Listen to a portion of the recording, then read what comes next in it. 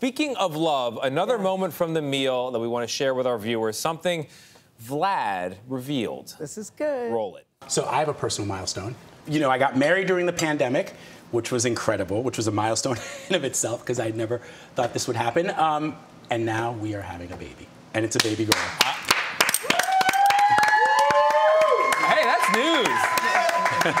that's news best news. I've heard all I love that news. Well, there's some breaking news. There's some breaking news. That was oh, so exciting. wow.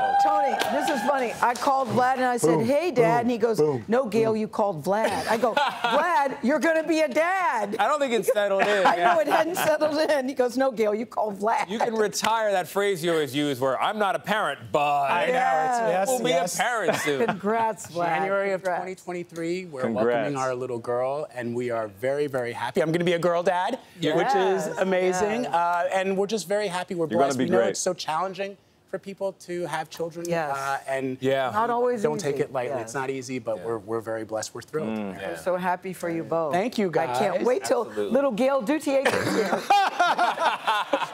making, a, making a note of that right now. you, you Gayle. can make it a middle name. That's okay. She's upset that Eloise I was got thinking Eloise Natalie. Sorry. Natalie. I like Thinking Natalie. Natalie, Tonina, Gayle. Gayle.